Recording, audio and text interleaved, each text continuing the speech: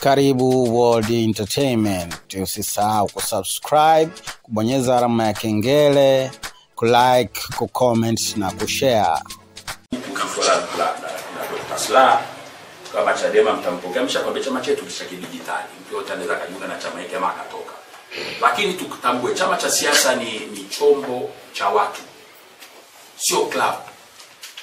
Unajua, mkiwa na club mnasema tuna memba mia mbili na ni hawa na masharti ya kuwa memba ni haya, lakini kwenye chama cha siasa, chama cha siasa ni chama ambacho kinaweza kikapokea watu kikawaachia, kikawapokea, kikawaachia.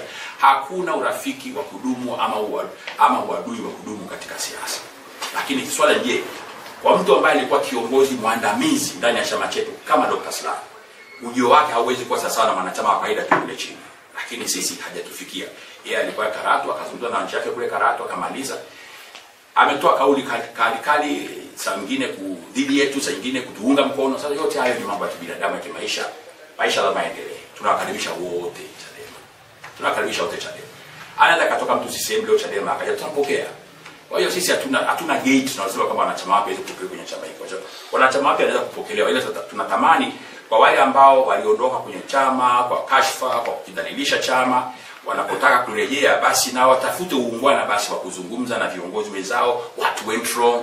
Otherwise our doors are open to almost everybody.